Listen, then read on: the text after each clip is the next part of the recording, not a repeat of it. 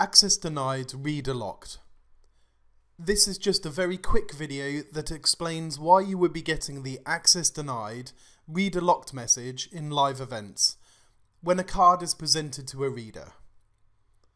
It's either because the system is in a global lock condition and the global lock mode is set for the readers to go into lockout or lockdown.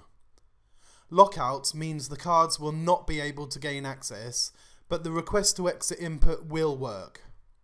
And lockdown, again, the cards will not be able to gain access, but the request to exit input will also not work. There is, however, an additional option when using the PXL controllers.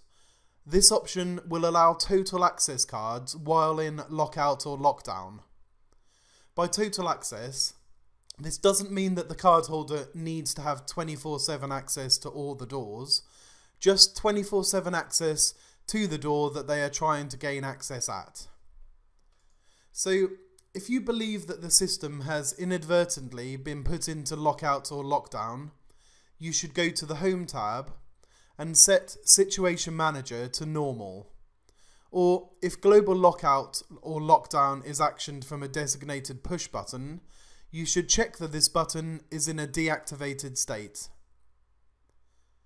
If just the single door has been inadvertently put into lockout or lockdown, you can right click the door in the door status grid or from the hardware tree and set the door back to its normal operating mode, which is lock.